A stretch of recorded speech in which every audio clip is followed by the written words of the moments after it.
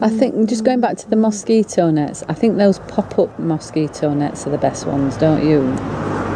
That's what I got. Well, mine was pop up. I never used I them. said, and they, Were they easy to put back? That was what was worrying me. in, in the end, back. it was. Got I got them out flat out, and then was sort of doing it, and It took a while, but you did No, it. once I'd worked out what it was do- what I was doing with it, Ah, right. and I did try before I went. I got the YouTube. I had to get the YouTube film to sort of practice with it, you know, to see how I was doing.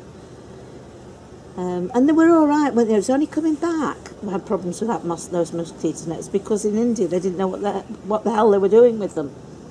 Oh, they thought they were. They, did you see we couldn't get through? We were, they Oh, because get- they, wouldn't fit in your suitcase. Yeah, and because this Get side one they were taking in your suitcase. But no, but it's going out. They re- but they didn't have the same instructions as they obviously had in Manchester. That fine, they could go separate. So there was a lot of confusion going on about what do we do with them? Where do we, where do they go? So we Hmm. ended up having to go with them to another place to go through a security thing. So- yeah, yeah. But if they were in your suitcase, you were oh, all it's right. safe. Suitcase would be fine. Yeah.